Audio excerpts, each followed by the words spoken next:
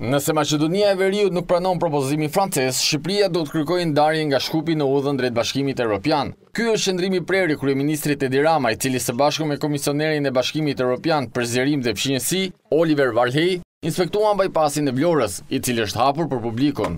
Nëse rezultati nuk do të jetë pozitiv, ne menjëherë të nesërmen do të kërkojmë dhe do vazhdojmë të kërkojmë pastaj në vijimësi ndarjen e dosjes Shqipërisë nga dosja bullgaro-maqedonase.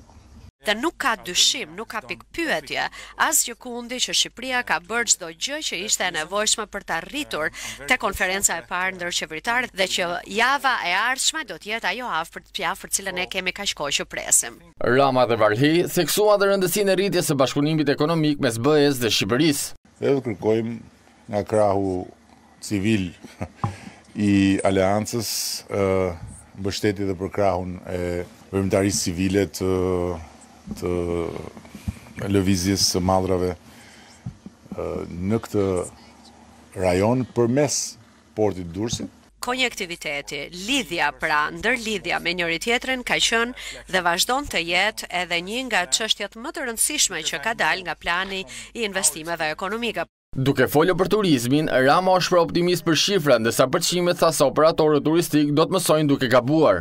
E numri i vizitorëve të huaj në këtë gjashtëmujor të parë është shumë më i lartë sesa numri i vizitorëve të huaj në vitin apo vitet e shkuara. Ne kemi caktuar fonde pikërisht për këtë sektor, gjithsej njëqind e gjashtëdhjetë milionë euro.